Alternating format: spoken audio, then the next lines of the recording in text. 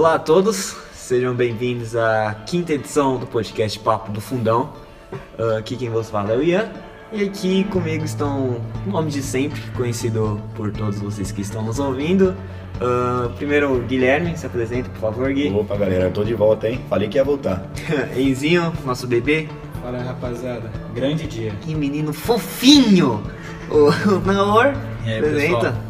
Naor é mais sério, né? O, o tom de voz, de voz dele parece um pai. Uh, o Vini, por favor. Opa, salve! Esse aí não é tão sério. Esse aí não dá. E Luquinhas. Fala Luca. rapaziada, bora pra mais uma. Pra quem não sabe, o sobrenome do Lucas é Casper, viu? Então quem quiser achar ele por aí, ó, Lucas Casper, Mentira, Lucas Casper. só dá aquela Casper. procurada. Igual o Enzo também, que o sobrenome Enzo dele é Facu. Enzo Faculdade. E eu que sou romântico, cada um com o sobrenome que merece. Cada um né? com um sobrenome legal. Bom, o assunto de hoje vai ser seleção. A gente vai comentar posição por posição. Ah, a convocação, vou começar pelo goleiro, que a gente já discute tudo de uma vez pelos goleiros. Ederson, do Manchester City, é, o Everton, do Palmeiras e o Ivan, da Ponte Preta. Vocês acham que todas as convocações são justificadas? Todos merecem estar nessa lista? Você acha, Enzo? Ah, eu acho que é a posição de, go- de goleiro. A gente sabe que o Ederson vai ser titular, é óbvio. E o segundo, imediato, vai ser o Everton, mas acredito que o Everton tá vivendo um bom momento também. Tipo, quando ele é exigido, ele, ele faz um bom desempenho. E ele pode até ser um. Ele, ele pode até dar. ajudar a seleção nesse período aí. Mas não vai ser. Eu acho que ele não vai jogar. Óbvio que o, o Tite não, ele não tem costume no jogo da seleção fazer um revezamento de goleiros. É que eles, ele busca escalar o. é, goleiros, por exemplo, aleatório, igual o goleiro que era do Flamengo, que é o Hugo, é o Hugo Moura, Hugo Moraes, se não me engano. Que é um, um goleiro de 16 anos que foi treinar com a seleção. E todo mundo falou, pô, por que ele foi, por que ele foi pra seleção? Porque ele foi pra seleção. O Tite tem essa mania para os jogadores que têm potencial para ir pra Europa treinar em alto nível. Que, pô, talvez. do Ivan. É, o caso do Ivan também. O, o- por isso que a posição de goleiros é uma, opinião, é uma posição que, por Alguém mim. já viu o Ivan jogando? Eu, Não, como que joga bem. eu já vi dentro do estádio, no time que eu fui em São Paulo e Ponte Preta, realmente ele, tem, ele, tem- ele é muito bom goleiro. Todo mundo tá- no estádio já tava chamando até de frangueirinho por causa de um gol lá, de, Eu uma- estava. de um lance. Eu estava. Mas o Ivan ele salvou o resto do jogo inteiro, se não fosse o Ivan teria sido uns 5, 6 gols. Eu já vi vários jogos da Ponte Preta na Série B, realmente não destaque da Ponte Preta. Eu acho que sim, ele tem futuro, pode ser um goleiro bem promissor. É, eu acho que realmente a posição de goleiro não tem nem muito o que falar, né? Uma posição assim previsível em questão de seleção. O titular absoluto é o Alisson, né? Que se ma- machucou. Então o Tite deu oportunidade é, para um quase revezamento, né? O Ederson vai, vai ser titular, tem bastante qualidade, mas o titular da posição mesmo é o Alisson. Quando voltar de lesão, vai voltar a ser o titular. O Everton é um goleiro que está sendo convocado aí, já foi convocado algumas vezes e aqui é uma das coisas que a gente tem de melhor. é, ele é um dos melhores goleiros que a gente tem em atividade aqui no Brasil. E o Ivan é um dos goleiros com potencial, então acho que é uma posição mais previsível do Tite convocar. É mais tipo Alisson, Ederson e mais um. Alguém acha que o Cássio deveria ter sido convocado no lugar do Everton? Não vai Brincadeira essa pergunta. não vai dar não. Ah, no- na atual temporada tá, É, tá, tá o Tá momento atual dele não, mas o Cássio é um monstro de goleiro. Em tempos anteriores ele merecia, mas hoje em dia eu não acho que ele mereça. Eu acho que dos três convocados, o que é mais questionável deve ser o Everton, porque não que eu ache ele pior que outros, só que no Brasil existem goleiros como o Santos, Diego Alves, entre outros Thiago que também. Volpe. Thiago Volpe. Que, Ah, o Santos, o Santos tá machucado. Thiago Volpe Sim, nos esses últimos- goleiros eles têm um é potencial muito bom, e um nível de atuação parecidos com o do Everton, mas eu, eu, não, eu não mudaria a convocação. É algo que não vai mudar em nada. Né? É, até porque o Everton não vai ser aquele titular, né? Vai ser E Não mais acredito que o desbancar Tite ele não vai botar, não vai fazer revezamento de goleiro, só tá pra treinar em outro, alto nível mesmo. É, porque também o Tafarel é um cara que ele enxerga muito até a longo prazo, né? A gente lembra quando o Alisson começou a aparecer na Roma e tal, ele foi convocado e o Tafarel já dizia naquela época que o Alisson tinha potencial para ser um grande goleiro. Então o Tafarel pode fazer essa observação com o próprio Ivan, com outros goleiros mais jovens também. Agora vamos para a próxima posição, zagueiros. Ah, convocados são Marquinhos e Thiago Silva, do PSG, o Militão do Real Madrid e o Felipe do Atlético de Madrid. Acham que todos também são justificáveis? Eles mereceram a convocação ou algum tá aí de bobo? Não, eu, eu concordo. Me agrada a convocação de, de todos, principalmente do Marquinhos, que pra mim é o melhor jogador da posição brasileiro atualmente. O Felipe também gosto muito. O Militão já é um pouco mais discutível, porque não vem jogando muito pelo Real Madrid, né? E o Thiago Silva, pô, eu acho que ah, ele tem o lugar dele ainda lá na seleção. Eu acho que ele poderia ter tentado talvez Fernandinho, Fernandinho na zaga, igual o Guardiola, Guardiola? Guardiola mas eu mas para jogar na zaga, porque Fernandinho de volante não tem como. Né? Na seleção, Fernandinho como jogador não tem como. no- na, na seleção. No City eu gosto, mas na seleção eu, eu acho que já passou o tempo do Fernandinho, na verdade. Você acha mas que passou o tempo dele por causa da Copa ou por causa das atuações da Copa, Ah, né? não sim. foi bem. Mas só, só tô citando alguns nomes possíveis, mas eu gostei. Você que- tá queimando o Fernandinho então. É. Olha, eu senti falta do Rodrigo Caio. Eu até acredito no futebol, por exemplo, do Thiago Silva. É a idade do Thiago Silva que pesa É. um pouco. É, Tem que mas o- pensar- acho que tem que pensar um pouco pra próxima Longo prazo, Copa. né? É, tipo, o também. Thiago Silva ele vai estar na Copa de 2022. Talvez seja por isso que o Militão compensa. foi, foi convocado também. Sim. que foi O Felipe, que eu acho uma ótima convocação. É, Eu acho que uma grande zaga mais previsível aí para os próximos anos é Felipe e Marquinhos, né? Uma zaga mais consistente. E aí a gente tem outros jogadores, como o próprio Rodrigo Caio, que foi citado, correndo por fora aí. Mas eu acho que os favoritos mesmo são o Marquinhos, que já vem jogando há bastante tempo, desde novo, muita experiência ele tem já de Europa. E o Felipe, que cresceu de produção muito e tá fazendo uma boa temporada pelo Atlético de Madrid. Eu trocaria o Thiago Silva ou pelo Rodrigo Caio ou pelo Gustavo Henrique, já que são zagueiros jovens e que podem jogar a próxima Copa, ainda que não como titulares, mas estando no banco por alguma possível alteração, né, alguma lesão. O Gustavo Henrique, ele. Eu acho que ainda é questionável a, a possível, na sua opinião, tipo, a possível convocação dele. Eu acho que, já que ele tá no novo clube, eu acho que ele merecia pelo menos ter uma sequência maior pra ter uma possibilidade de ser convocado. O Caio eu já concordo. E só pra encerrar, vocês acham que o Jeromel já passou o tempo do Jeromel? Já foi? Acho que já idade É, tá já. avançada já É. pra. Ele é muito bom zagueiro, pra mim é o top 3 zagueiros do Brasil, mas. Eu acho que a idade, ele já tá com a idade muito avançada e eu pensei a pensar a longo prazo. Então acho que a longo prazo não compensa convocar o Jeromel. Beleza, agora vamos falar de lateral, esquerdo e direito. Então, pela direita tem Daniel Alves e Danilo. Uma risada de. Não, De Daniel longe, Alves joga como lateral no São Paulo? Não. Ah, Tem outro lateral melhor? ah, Fagner. Caramba, Brincadeira, ó, brincadeira. O Fagner, o Fagner deveria entrar no lugar do Daniel Alves na sua concepção? Ah, Fagner não é nem o melhor lateral do Brasil. e Daniel Alves é? Daniel Alves não, mas tem melhores. Daniel. Alves Rafinha uma perna é o melhor que o Fagner. Ah, o? Rafinha sim. Entre Fagner e Rafinha, acho que. Não, eu falei É, zoando, eu falei zoando. E dos zoando, mas o Rafinha acho que merecia ser Será convocado. que falou zoando ou foi o lado Não, clubista? não, eu falei- Não, foi falei clubista. E brincando. você, você aposta em quê? Eu acho que foi clubista. Eu acho que foi clubista. Falei você acha? Clubista? Eu também acho que foi clubista. Clubista. Todo mundo quer me Crazy. convocar. Claramente, claramente. Agora a lateral esquerda também, Alexandro e o Lodge. Não, só, só uma menção aqui, eu acho que poderia ter chamado o Emerson Leite, zagueiro do Betis, o lateral do Betis, perdão. É, Eu acho que valeria a pena o teste, já valeria a pena a É, aposta. sim, acho que nessa vaga no lugar do Daniel Alves seria mais interessante, porque como o Enzo falou, o Daniel Alves não vem jogando de lateral. O Emerson vem fazendo uma boa temporada, né? Exatamente. O tá numa temporada Esse bem Emerson boa. não é aquele que tava no Chelsea não, né? Não, é o que Não. saiu do Atlético Mineiro. Ah, O tá. campeão do bom Chelsea é o. Palmeiras, que já naturalizou italiano já. Ah. Bom também, bom também. Ah, é, na lateral esquerda, Alexandro e o Lodge. Acho também merecida. Não. Não? Por Eu, eu convocaria o Alex Telles no lugar do o Alex Alexandro. Telles tá jogando Eu acho que o bem. Alex Telles está jogando mais com o Alexandro na Juventus. E o Marcelo? Já o Marcelo não tá no bom. Marcelo Até a própria consegue, torcida vem questionando Coitado do as, as suas últimas O titular do. Real Madrid hoje é o Mendy, né? Que É. vem crescendo de produção. Eu acho que essa vaga de lateral esquerdo vai meio que ser uma passagem de bastão pro Renan Lodge, que desde novo já mostrava potencial e agora tem Nossa, tudo para fazer uma excelente carreira na Europa, né? Já vem se destacando no Atlético de Madrid. E eu acho que essa posição vai ser dele, vai ser meio que uma hegemonia, na minha opinião.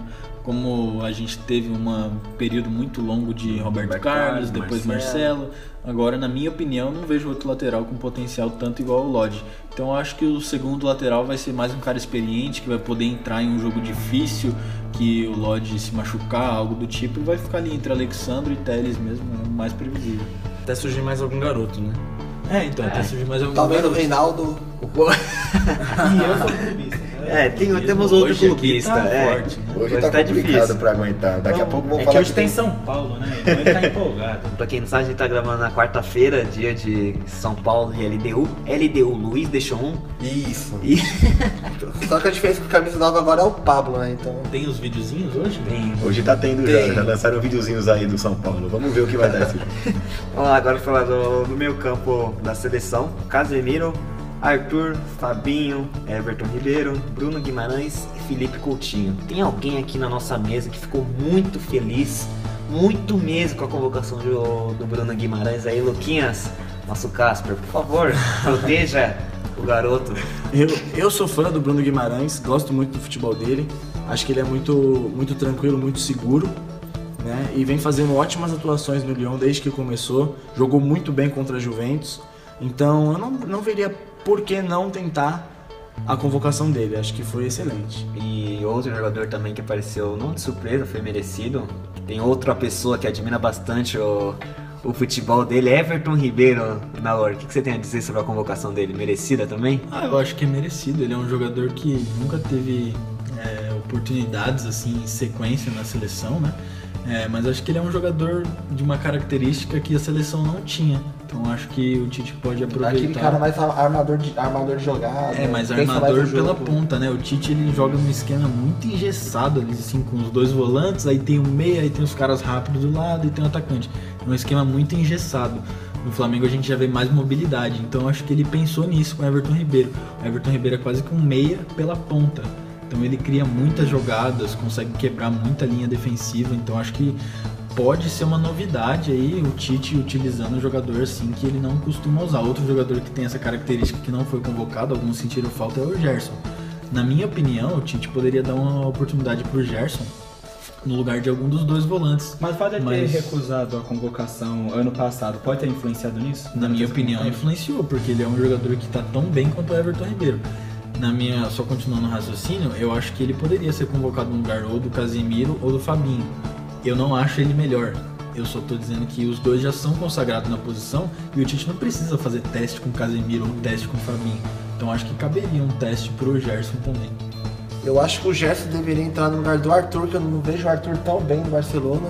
Eu acho, eu acho que o Gerson ele tá numa fase melhor com o Arthur. O Casemiro está jogando muito no Real Madrid. Nesse meio de campo, vocês não acham que tem um jogador contestado? Tipo o Arthur. Coutinho?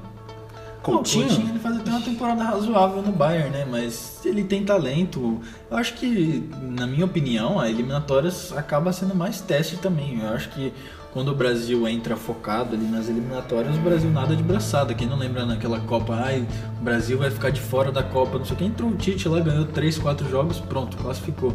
Então, pra mim, é algo bem, bem tranquilo pro nível da seleção brasileira. Então, acho que cabe esses testes mesmo. Por isso, eu defendi a convocação do Gerson. Sim, e eu, eu concordo com a convocação do Coutinho porque ele, ele tem oscilado muito, né, entre jogos muito bons e jogos ruins, né, meio apagados, mas ainda assim pra mim ele é o melhor meio armador assim da, da seleção, né? Ele faz também essa função mais ou menos que o Nauro falou do Everton Ribeiro, só que pelo lado esquerdo, né? Então o Tite poderia tentar aí uma formação diferente, usando os dois, quem sabe, Seria um time bem criativo, um time né? bem criativo com, quem sabe, dois atacantes na frente, não sei. Mas iria ser algo diferente que poderia dar certo. Então, Sinceramente, eu acho que o Tite não abre mão desse esquema, não. Ele convo- convoca o Coutinho, convocou o Everton Ribeiro, mas acho muito difícil ele não usar os caras de velocidade. ele gosta de dois volantes. né? É, ele é muito engessado, assim, em questão de esquema. Agora é uma opinião até um pouco polêmica, mas pensando mais no esquema de jogo do Tite do que de alguma de mudança na forma dele pensar. É sobre a convocação do meia armador e também às vezes improvisando no ataque, Renato Augusto. Senti falta dele, sei que é um jogador muito, mas muito questionado mesmo. Porém no esquema Porém, no esquema de jogo do Tite, vem dando certo. A gente teve que dar o braço a torcer na Copa, que é o único respiro que a gente teve contra a Bélgica foi as chances que o Renato Augusto acabou tendo. E Coutinho, outro Neymar acabaram não tendo essa possibilidade de marcar o gol por conta do esquema do Tite. Sei que pode ser uma mudança, uma inovação, mas senti falta. Pela idade também, né? O Renato Augusto, a gente não vê ele na próxima Copa, por exemplo. É o que eu falei, no caso do Thiago Silva. do Thiago Silva. É, eu acho que pode ser essa questão já de pensar no futuro. E é interessante. Agora vamos para última posição, atacantes. Temos Neymar, Roberto Firmino, Richardson, Gabigol, Bruno Henrique, Gabriel Jesus e o Cebolinha. Everton Cebolinha. Todos merecem a colocação, Vini? A única mudança que eu faria nessa convocação, eu tiraria o Richardson do Everton e colocaria o Lucas Moura do Tottenham. Depois que o Kane se machucou, o Lucas conseguiu assumir a posição muito bem, apesar do Tottenham não estar bem. Ele consegue assumir uma certa responsabilidade no Tottenham, tá bem há tempos no Tottenham. Então eu acho que o Lucas merecia mais no lugar do Richardson. Eu acho que o Lucas, por ter sido reserva a maioria da temporada passada, ele perdeu um pouco desse espaço. E no ano passado o Richardson cresceu muito, né? Então o Richardson ganhou a confiança do Tite e acho que hoje ele tem muito mais espaço na seleção do que o Lucas. E visando até a questão da idade. O Lucas pode ir para a próxima Copa? Pode, mas ele não é um jogador tão novo, com tanto potencial quanto o Richardson. Já tá beirando os Richardson- 30, né? É, já tá beirando os 30. O Richardson é um jogador que pode evoluir mais na mão do Tite do que o Lucas. E o Vinícius Júnior? Futuramente merece uma Eu chance. acho que ele merece evoluir um pouquinho, é tipo, ter uma sequência maior de jogos pra poder ser convocado. Na minha opinião, claro. Depois qualquer opinião contrária. Eu não. Eu já acho questionável. eu acho questionável, por exemplo, a, o Everton Cebolinha continuar sendo convocado e o Dudu não. Por conta da fase dos dois É jogadores. clubismo que fala? Será? Eu Por- acho não, que é questionável, vamos, vamos colocar. Eu entendo que o Everton Cebolinha é um jogador de característica específica. Aquele jogador que recebe a bola em velocidade, faz aquele corte na linha de fundo pro pé bom e tem a batida cruzada, um chute colocado. Só que o Dudu ele tem algumas outras, alguns atributos como jogador que acabam deixando ele um pouco mais completo. Por exemplo, a questão da força corporal, apesar de ser um jogador baixo, ele consegue dominar a bola de costas para o zagueiro e ganhar na força. Ou, por exemplo, um chute de longe diferenciado, já que o Cebolinha não tem. Não acredito que seja excepcional isso no Dudu. Eu acho Mas em é a comparação mesma- com o Cebolinha é melhor. Eu acho que é a mesma coisa da confiança que eu citei no Richardson. Eu acho que principalmente pela Copa América que o Cebolinha fez, ele merece uma sequência na seleção. E aí eu te pergunto, você acha que o Dudu faria a diferença que o Everton Cebolinha fez no lugar do Neymar na seleção na Copa América? Acredito que sim. Acho que contra o Peru ele faria diferença mesmo. Desculpa, mas ele virou uma peça-chave na. No 5x0 ou na final? No 5 a 0 principalmente, foi quando o Brasil não vinha bem na fase de grupos, era muito questionado e essa goleada foi onde o Brasil teve aquele grande respiro para seguir para o campeonato. Eu acho que apesar da posição, são características um pouco diferentes, né? Eu acho que o Cebolinha é mais rápido, mais ágil, assim, mais liso. E acho que o Dudu, ele, talvez com a bola no pé, ele tenha até mais qualidade, mais força, como você mesmo disse. Mas acho que pra característica que o Tite quer, como um substituto do Neymar, eu acho que o Cebolinha ele entra, assim, em segundo tempo, ele colocaria mais fogo em um jogo do que o Dudu. Sim, o Dudu, ele, até o Luxemburgo atualmente enxerga o Dudu muito mais como um jogador de armação do que um jogador de decidir no drible, por exemplo. É, no caso a escolha do Tite é mais por esse jogador um pouco mais liso, um pouco mais para substituir o Neymar se precisar, ou alguma alteração de segundo tempo que precisar mudar o jogo. Eu vejo o Cebolinha assim na seleção. Sim, agora fazer uma pergunta também sobre o Felipe Anderson. Alguém acha que ele deveria ter a chance ou já não? Acho que ele faz uma boa temporada também, mas não nesse nível desses jogadores. Acho que ele poderia ter sido convocado no ano passado. Na temporada passada ele vinha melhor até do que vem agora, mas e a seleção precisava mais de jogadores na posição dele. Hoje em Hoje a dia, gente tá bem servido. sim, Bruno Henrique aparecendo muito bem também. Vocês levantaram agora jogadores que deixaram de ser convocados, Dudu, Lucas Moura, Felipe Anderson, jogadores que muitas vezes são injustiçados na seleção. Tem algum jogador que vocês acham que foram muito injustiçados na história, em toda a história da seleção? falando? Historicamente. O principal nome é o Lucas, né? Não tem nem como contestar Mais isso. injustiçado de Todos, de todos, da história do- da seleção brasileira, o Lucas é o mais injustiçado por não Da, ser da convocado? história recente, acho que talvez. Eu acho que da história é o Alex. Eu acho que o Alex não foi injustiçado. Eu concordo que ele foi um craque, realmente fez a diferença em diversos times que jogou. Porém, a concorrência que ele tinha era algo absurdo na posição. É, a gente lembra de Quarteto Mágico, a gente lembra de 2002, a gente lembra de muita coisa. E eu acho que a concorrência pro Alex era muito pesada.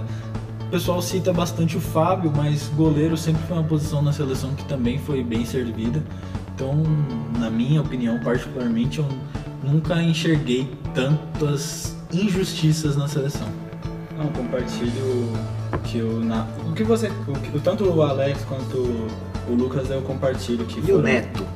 Então, eu coloco já o É, Neto também. é. Na Copa de 90, acho que ele merecia entrar. Nos anos né? 90. Eu, eu Não acha? eu, eu não sei. Eu, Eu não sei coloco- encaixar ele não. eu- Tinha muitas posições boa- é, boas, mas é claro, o Neto comandou o Corinthians em 90, aquele título, primeiro título, mas é, Saudades? é, não era nem nascido. Mas tá marcado no seu coração. É, marcado, mas é, não vejo ele como o maior injustiçado, não colocaria. Mas é um dos nos top 5, você colocaria? Top 10. Top 10? Top 10. Top 10. Pra mim, meu top, top 3 de injustiçados na seleção, não sei a ordem.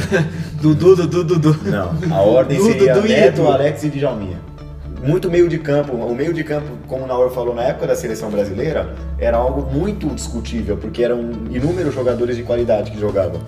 Eu acho que de, de todos esses três, Alex, é, Neto e Djalminha são os três que, pra mim, mereciam uma vaguinha, mas não acabaram tendo. Reafirmando, na minha opinião, eu não vou fazer top 3 porque eu não acho injustiça. Eu acho que sempre tem bons nomes. O Brasil é uma seleção que tem a melhor seleção do mundo, mesmo ganhando ou não. Sempre tem boas concorrências para as posições, então eu acho que é bem discutível essa coisa de injustiça. Então eu acho que, por exemplo, o Alex teve muita concorrência.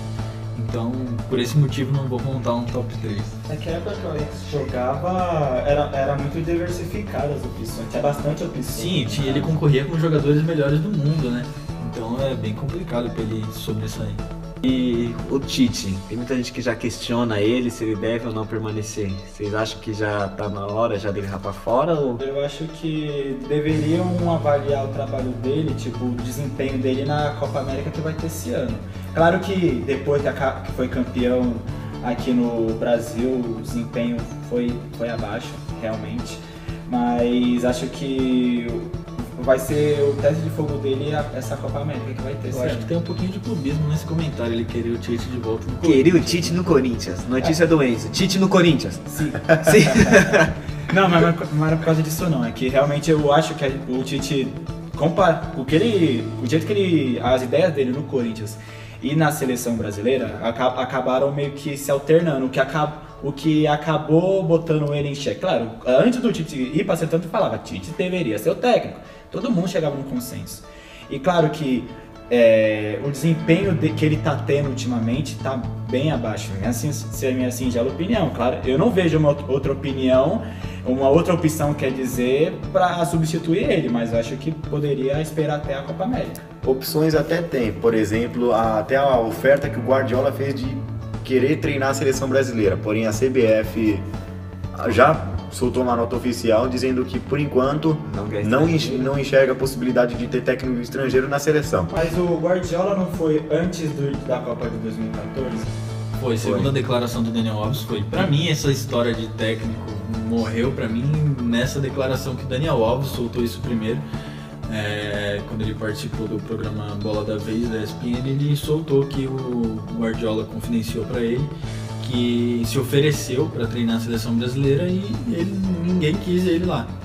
Então, eu acho que os critérios de ser chamado um técnico, os critérios de avaliação são bem questionáveis, então eu não gosto muito de Ninguém entrar no quis o. Guardiola é sacanagem, Pra né? mim, essa história de técnico morreu quando o Daniel. Alves soltou essa declaração. Acho que naquela época, realmente, o Guardiola... É qualquer é, época, mano, o Mas, qualquer não, Guardiola. mas tô época. falando que atualmente... atu- é, Guardiola atualmente- bebê podia ser técnico. Será que atualmente Ia ser ele, melhor que ele- 7 a 1. Será que atualmente ele gostaria de voltar a comandar a seleção? Eu acho que, como ele foi recusado, acho que Eu acho E até pelo orgulho ele não voltaria, volta. não. Ah, também eu acho que foi uma, uma competência danada da CBF, né? O que eu acho muito besteira até essa coisa de não aceitar técnico estrangeiro na seleção. Eu acho muito besteira a CBF. A gente fala não vai mudar nada. Eu só tenho a minha opinião que eu acho besteira. Eu gostaria muito, por exemplo, do Jorge Jesus sendo técnico na seleção, por exemplo. Mas aqui, essa, ques- essa questão de técnico estrangeiro, todo mundo tinha uma a opinião que não queria técnico estran- estrangeiro. O que o Jorge, quando o Jorge Jesus chegou, ele meio que revolucionou o modo de pensar do, do torcedor. Eu, eu sempre, eu vou falar, eu sempre quis que tivesse um, um novo técnico com ideias totalmente diferentes do que está habituado no futebol brasileiro. É, e to- mas tipo, em clubes que eu quero dizer, ninguém queria, ninguém, é, todo mundo se recusava, porque nunca fez tanto sucesso assim. O que o Jorge Jesus fez, é, que até eu gostaria, realmente, tá? Se ele fosse pro, Jorge Jesus fosse pra, pro, pra seleção brasileira, ia ser legal. Ah. Se ele fosse pra seleção, é, eu acho que não ia ter uma certa resistência da CBF da mesma, da mesma forma que teve em 2014 para não ter contratado o Guardiola. E, ô Vini, você acha que o Renato Gaúcho poderia substituir o, o Tite na seleção? Sim, inclusive eu acho o Renato Gaúcho mais técnico que o Tite, inclusive. Eu acho que ele poderia substituir, mas a gente também tem que colocar em pauta que é mais difícil né, em questão de trabalho e tempo treinar a seleção do que um clube. Então a gente vê um trabalho muito bom do Tite em clube, não vê tão bom na seleção. Talvez, pode ser que aconteça a mesma coisa se o Renato Gaúcho fosse para uma seleção, né? É um trabalho bem duradouro do dia a dia, ser bem forte em clube e não ser tão forte na seleção, mas só testando pra gente saber. O ponto que eu queria destacar do Renato Gaúcho é que assim, a gente vê que no Grêmio ele tem uma moral muito grande por ter sido jogador, ter sido um dos maiores ídolos da história do clube, ter vencido o Mundial. Então eu acho que na seleção é, ele não teria essa moral que ele tem no Grêmio, mas com certeza por ele ter sido um dos maiores ídolos do Grêmio, ele tem essa moral lá que reforça ainda mais o trabalho dele. Sim, a única questão que eu colocaria para a troca do Tite pelo Renato são dois pontos. O Tite, para sair da seleção, na minha, na minha visão, tem que ser. tem que ter um desempenho muito abaixo. Não tem por que tirar um técnico de seleção agora, nessa, nessa fase atual. Agora já o Renato Gaúcho, também pela, por conta da personalidade que ele tem. Ele é aquela pessoa que a gente percebe em entrevistas que tem personalidade forte, que tem aquela mente dele, que ideia dificilmente ele vai mudar de ideia. Então, se as convocações do Tite já são bem questionadas, imagine as convocações do Renato Gaúcho.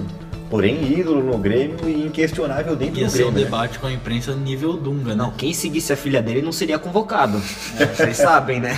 Começa por aí, então já esquece metade dos jogadores. É.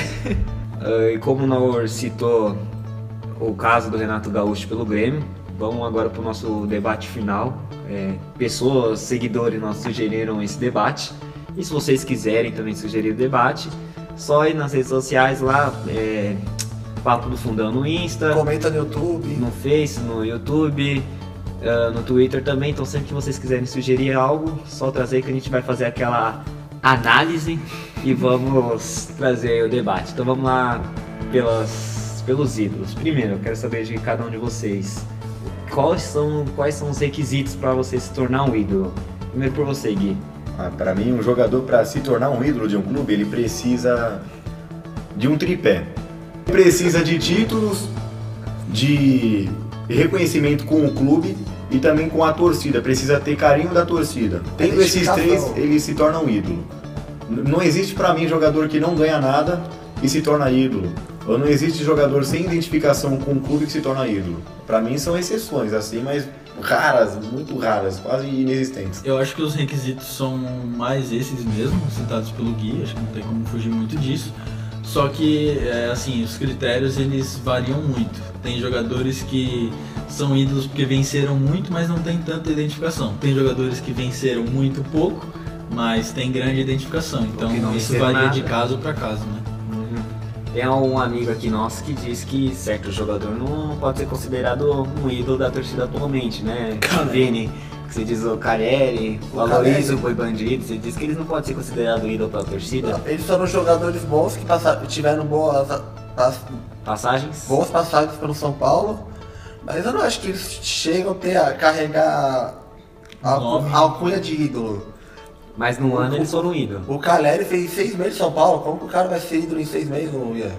Não, não tô falando que o Caleri é ídolo. Eu acho que se ele ficasse. que o Caleri é um ídolo, mas eu gosto do Aloysio. Ele é um jogador, são jogadores marcantes. São jogadores, é um jogador jogadores que fizeram gols pelo São Paulo, representaram São Paulo, mas eu acho que eles chegam a ser ídolos. O Aloysio salvou o São Paulo do rebaixamento. Do com São Paulo não tem muito o que discutir. É, o São Paulo- e ponto final. Sim, mas E o eu- Raí também. Rogério Ceni, dá moral pra nós aí.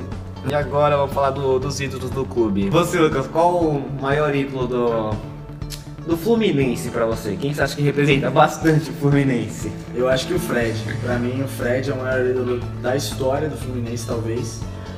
Foi campeão brasileiro, né? 2012.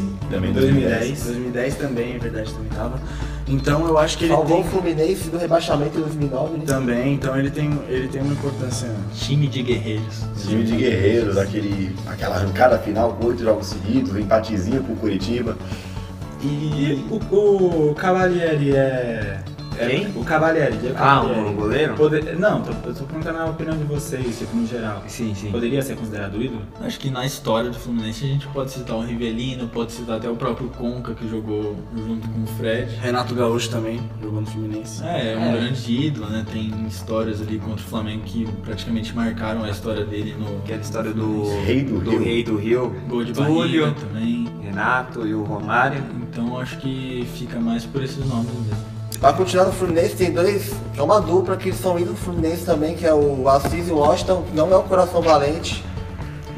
Que fizeram a dupla, o a dupla 20, ca- o casal 20 anos do Fluminense, foi bem Bem marcante também pra torcida Você do, tem do uma. Fluminense. Agora pra você, Enzo, ídolo do, do Atlético. Quem você acha que representa bastante o Atlético? Qual Atlético? O Atlético Mineiro. Só tem um Atlético. É, que pra mim o Atlético Paranaense nem é considerado. Ah, tá. Vai, eu acho que poderia colocar o Vitor. O Vitor. Goleiro? É, São E Vitor. São É, Vitor. o que, ele, o que ele catou naquela Libertadores foi Ronaldinho ou São Vitor? Vitor. Vitor, vocês concordam? Sim, a, a, tem uma, tem uma narração histórica de um jogo, se não me engano, era quarta de final da Libertadores, ou seja, Old Boys, não foi? não, Tijuana, Tijuana, Tijuana. Foi de último minuto na, no Independência. Se o Tijuana fizesse o gol, acabava ali a Libertadores pro Atlético Pé Mineiro. do São Vitor. Já tinha torcedor indo embora quando o Vitor pegou com o pé. Então ali foi o ápice, o ápice do É que Vitor pra realmente se eu não, eu não sei a história em geral do Atlético Mineiro, eu não vou meter o louco, mas tipo, o Vitor com certeza tem que Não é estar. muito legal, não. não sei, eu não gosto do Atlético. Isso, a gente Vai... vai. Você me pergunta do Atlético, então eu vou falar. É que você eu vou tem já cara de escolher- atleticano. Pelo amor de Deus, na minha frente. Vamos lá, Vini. Eu amigo que era atleticano ele fala que justamente o Vitor é o maior ídolo da história do Atlético. Aí, ó. O Ronaldinho Não é então. absurda a opinião. Ronaldinho e Vitor. Não, eu pode, acho que- podem ser, pode estar num top 3, Parâmetro. por aí, mas o Vitor com Eu certeza. acho que o Vitor fica à frente do Ronaldinho mais pelo tempo de clube. Na campanha da Libertadores eles estavam juntos, na vergonha do Mundial também. É, mas, continuando. É, mas na Copa do Brasil, no ano seguinte, 2014, o Vitor teve grande influência também no, é, na campanha do Atlético, que teve aquelas viradas históricas, é, que o Corinthians abriu 2x0 e tomou 4x1 em Minas, e o Flamengo abriu 2x0 e também tomou 4x1 em Minas. Ah, tá. Então acho que o Vitor, por ter mais tempo de clube, ele acaba ficando mais em evidência do que o Ronaldinho. E, e você, Gui? Qual o maior ídolo do. do Corinthians? Eu sei que você gosta bastante desse O time. Corinthians, eu consideraria o Cássio pelas conquistas. Muita gente fala de Rivelino, muita gente fala de Sócrates, mas pelas, pelos critérios que eu mesmo falei, eu coloco o Cássio como o maior ídolo do Corinthians, pelos títulos que conquistou, pela atuação incrível e inesquecível do Mundial de Clubes e também na Libertadores. É até parecido com o Marcos do Palmeiras.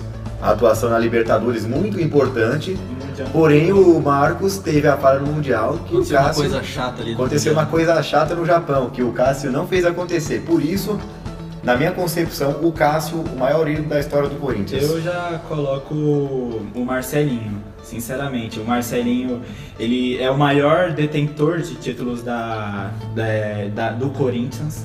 Ele jogou, se eu não me engano, 600 partidas, jogou muitos jogos. E acho que ele, ele decidiu em diversos momentos, claro que o Cássio, pô, é, se for falar se for falar o que ele fez na Libertadores e no Mundial, é, é- até seria é até insano. Mas é que o Marcelinho, é, pra mim, é o maior, sem sombra de dúvidas. Mas aí o Marcos atrapalhou o Marcelinho nessa, né? É, fazer o quê? E agora você, Lucas, maior ídolo do Palmeiras, por favor. Pra você, na sua opinião. Bom, do Palmeiras acho que é. Eu sei que você gosta do Henrique impossível- Ceifador, né? Impossível a gente, a gente não falar do, do Marcos, né? São Marcos, tão importante né, no título da Libertadores. Também o Importante Evair, no Mundial também. né, importante pro Manchester né, no Mundial. O Evair, né? Não tem como a gente não, não citar. César Maluco também, né? Que é um dos maiores artilheiros. O segundo maior artilheiro da Esse história era do Palmeiras. maluco mesmo, hein? É, e, e o Alex também, não tem como a gente deixar de citar, né? O Ademir da Guia, que participou da academia Também, também, também, é com certeza.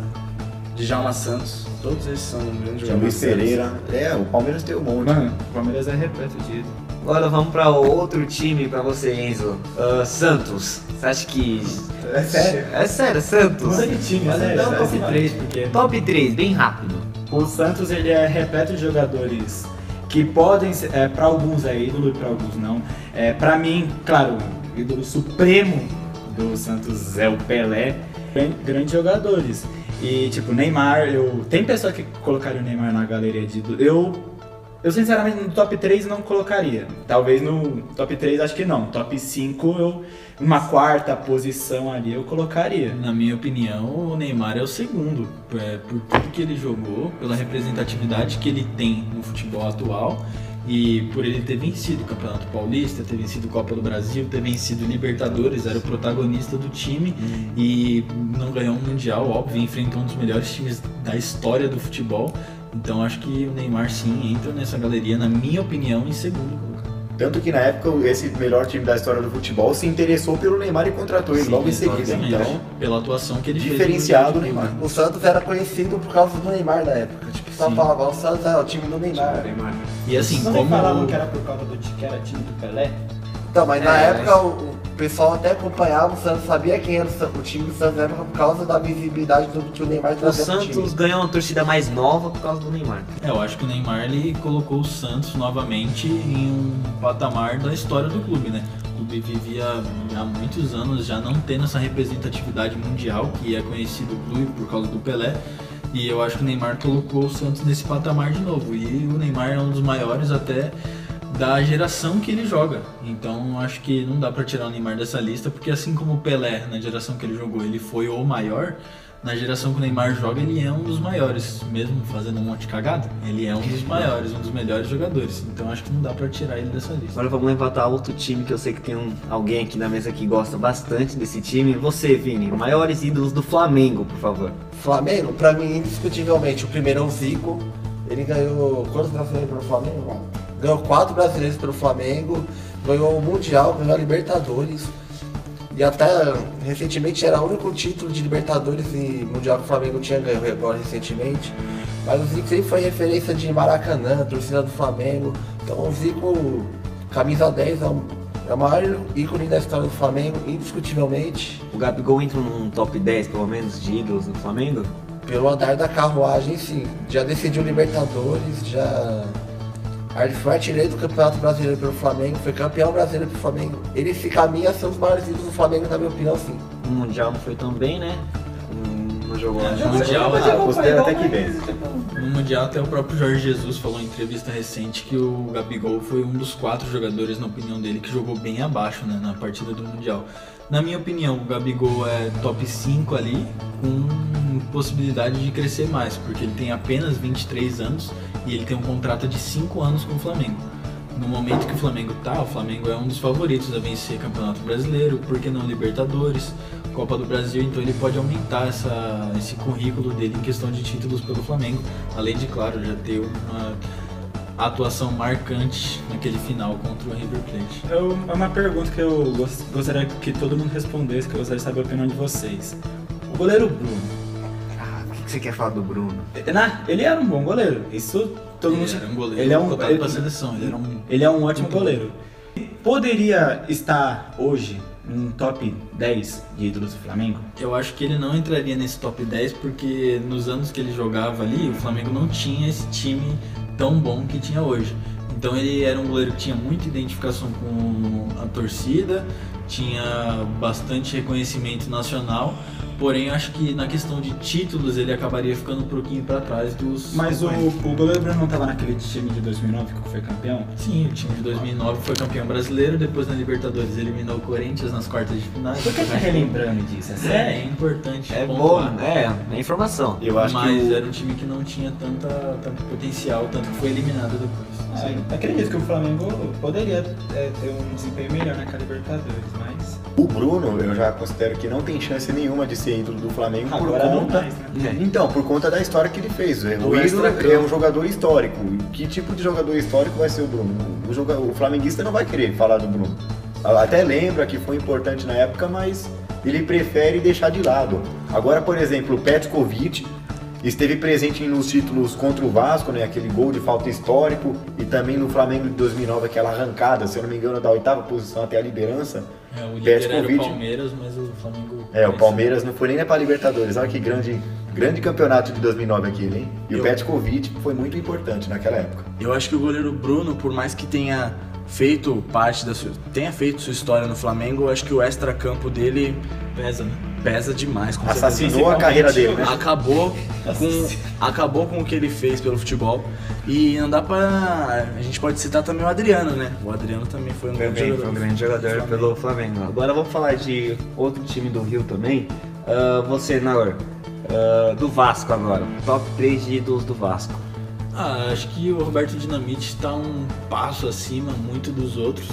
Maior que o Romário. Na minha opinião, sim. O Romário jogou em rival. Ele falou de que fazia a torcida do Vasco Sim, chorar, o Romário jogo. jogou em rival e o Romário. O Roberto Dinamite, ele muda o Vasco de patamar, não é uma palavra que tá na moda, né? Mas o Roberto Dinamite, ele muda o patamar do Vasco. O Vasco não era um time tão reconhecido assim, não era um time tão nacional assim. Mais ou menos como a história do Corinthians, assim, que até 90 não era tão reconhecido nacionalmente. Mas o Roberto Dinamite faz basicamente o que o Neto faz com o Corinthians. Consegue mudar naquele momento o time de patamar. Eu acho que até o Romário e o próprio Edmundo acabam ficando um pouquinho para trás por ter jogado em outros times, por ter identificação com outras torcidas. O Edmundo até com o Palmeiras, o Romário até com o Flamengo. Então acho que o Dinamite fica um passo acima deles. Eu citaria o Juninho Pernambucano também. Ele foi importante naquela Libertadores de 98, aquele gol de falta com Gol o do Juninho, monumental. Ele voltou pro Vasco depois lá pra 2011, 2012, voltou jogando muito bem também. Ele tem uma identificação com a torcida do Vasco diferente, ele, ele sempre Ídolo- gosta de citar o Vasco, Sim, ele eu é, concordo é com um o grande Juninho. ídolo do Vasco. Eu concordo que o Juninho tá entre os maiores ali. Eu só acho que o Dinamite tá num passo Eu muito elevado. Ídolo Eu é acho o Diego importante Souza, citar. né? Por último, ah, Mas não menos importante. não menos importante, Talvez né? até mais importante para Pra, alguns, né? pra alguns aqui da nossa mesa. Vamos falar do São Paulo agora, ô, Vini. Melhores ídolos do São Paulo, top 3 pra você. Eu Diniz, sinto fácil. Diniz já é o primeiro? Sim. Não, agora Brincadeiras à parte. O maior ídolo pra mim é o Rogério Ceni, pelo to- de ter só jogado no São Paulo a carreira inteira, inteira, ter sido goleiro artilheiro pelo São Paulo. Os títulos, ele foi muito importante nos títulos da 18 Libertadores, títulos, né? Coisa pra caramba. Quem mais? Os Segundo. títulos do Campeonato Brasileiro, ele chegou a ser o bola de ouro. E o segundo? O segundo, pra mim, é o Raí, por tudo que ele ganhou. É, gols decisivos quando ele jogava no São Paulo. Inclusive na diretoria ele faz um trabalho muito É, aí, como diretor, aí já não é. debochado. Ele, ele voltou pro Brasil em 98, fez três gols no Corinthians, numa final de, de Campeonato Paulista. É, E o terceiro pra mim é o Tele Santana. Tele Santana Ele Montanha. foi um grande. Ele coordenou aquela máquina de nove- da década de- do começo da década de 90, que bimundial, bilibertadores, então pra mim é o top 3 do São Paulo. O- Não. Tem diversos jogadores. é, Aí eu colocaria até outros. Eu colocaria. Eu, sabe quem é um jogador que poderia até citar? É Leônidas da Silva. Ele foi a contratação bombástica na época. Foi o último clube que ele jogou na carreira e fez o quê? É, É, 200, o Leônidas da 200 Silva, partidas. ele tem uma carreira mais duradoura até no Flamengo, né? Ele fez 100, é, 140, é, 140 jogos por aí pelo Flamengo e 250 pelo São Paulo. Fazendo também uma menção honrosa para jogadores como Euler, é, Lugano, que também são muito identificados com o clube, né? A torcida. Luiz Fabiano, Luiz Fabiano. não são top Ajudar na 3, briga. mas eu colocaria também como jogadores muito importantes e ídolos O do Miller, Miller. Vamos lá agora pro próximo time, Internacional. Quem é o maior ídolo do Inter, o Enzo? Eu? Você é o Enzo, né? Ai, caramba. Fernando, é o maior, eu vou, eu vou ser sincero, não vou- eu não vou meter o louco não. Eu não sei muito da história do Inter também, mas eu classifico que o, o Fernandão está entre os maiores. Na minha opinião, o Falcão é, está entre os maiores também. Da Alessandro. Eu acho que em questão de identificação, realmente o do Alessandro tá um pouquinho acima dele. Acho que é o maior do Inter. Pela Eu liderança. acho que pela liderança, pela identificação e pelos títulos. Então eu acho que assim, os outros eles oscilam nos critérios.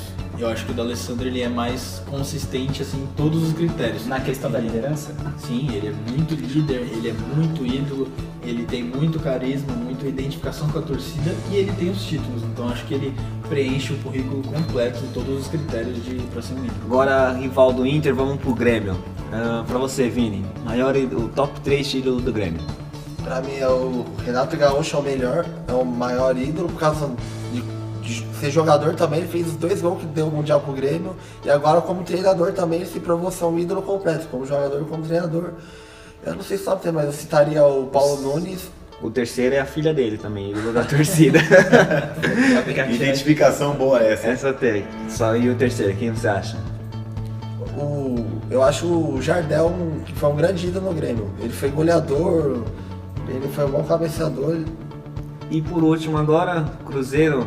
Pra vocês, quem foi o maior ídolo do Cruzeiro? O Alex entra nessa? Ah, eu acho que o Alex entra, é, a gente Ronaldo. tem o Fábio, que já vem anos e anos com a camisa do Cruzeiro, criou uma identificação muito grande com a torcida, apesar de não ter títulos continentais, mas aqui em território nacional o Fábio tem é, o bi brasileiro, tem bi da Copa do Brasil também. além do Então, Fábio ter mais de 880 partidas com a camisa do É, realmente ele é um jogador que tá marcando uma época bem parecido com o Rogério Ceni, não com títulos continentais, como eu falei, mas até em questão nacional, em questão de identificação, Ele- o Fábio tá tão identificado com o Cruzeiro como o Rogério Ceni com o São Paulo. E esse ano, se tudo der certo, ele ganha a Série B, né? Com Mais um certeza, currículo. mais um título Mais um título aí.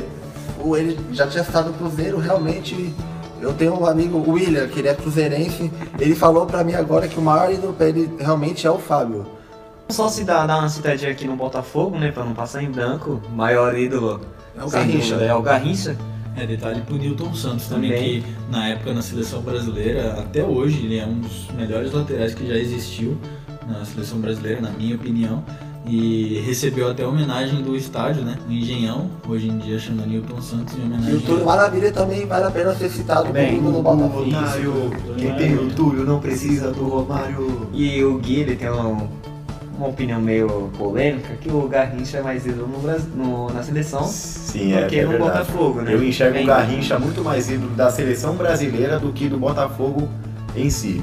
É que o Garrincha já colocou uma Copa do Mundo debaixo do braço, né? Coisa que. O Botafogo não colocou uma Copa Continental debaixo do braço, então acho que isso afeta um pouco, né? Sim, o Garrincha na seleção colocou uma Copa debaixo dos braços, coisa que até jogadores que têm mais nome que ele aí não fizeram, mas isso não ganha um caso. Sim, e também falando sobre os títulos que o Botafogo ganhou na grande fase, Quais? se eu não me engano foram dois títulos cariocas e um nacional. Pra Na um ídolo, seu é- bisavô era vivo ainda. É, o seu bisavô deve ter acompanhado É. ele conta a história. Se ele for vivo ainda. Então esse foi o esse foi o podcast dessa semana. Espero que todos tenham gostado. Ah, quem tiver alguma sugestão aí de tema pro próximo podcast pode deixar aqui no nas nossas redes sociais, no Insta, no Face, no Twitter. E vamos dar uma ressalva para nossos patrocinadores que nos ajudam sempre aí, primeiro a Roman Stories. Sempre que vocês quiserem alguma camiseta, algum artigo esportivo, só chegar lá na, na página deles do Insta que você vai achar tudo na melhor Uma qualidade. boa variedade. Os melhores kits de, de roupa de time. Crossfire Rudge, também é outro, outro patrocinador nosso. Sempre que vocês quiserem fazer, ganhar alguns músculos, ficarem musculosos igual o nosso Enzo, nosso bebê aqui, só, só ir lá na academia deles que sempre tem um plano pelo preço bom. E por último, Vi você na Unip Tatuapé. Encontre já seu crush, tire uma foto e poste. é isso, Se você galera. é daqui da, da, Do- do, do Tatuapé, tem uma página aí pra você encontrar o seu grande amor da sua vida, talvez. Nosso integrante que mais aparece lá é o Vini, né, Vini? O Vinícius- Apareceu lá vários e várias Presença cativa. tem. Tem cadeia cativa lá na Viva você na Unip Tatuapé. E é isso, galera. Até o nosso próximo programa. Até! Valeu, galera.